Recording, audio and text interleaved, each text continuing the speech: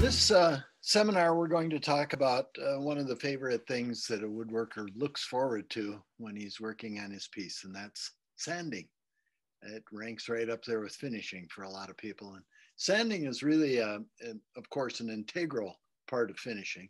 It is uh, the prep work that we do before we apply the finish. And whether you're going to finish just with a natural finish or if you're going to apply color, preparing to finish is really, really important.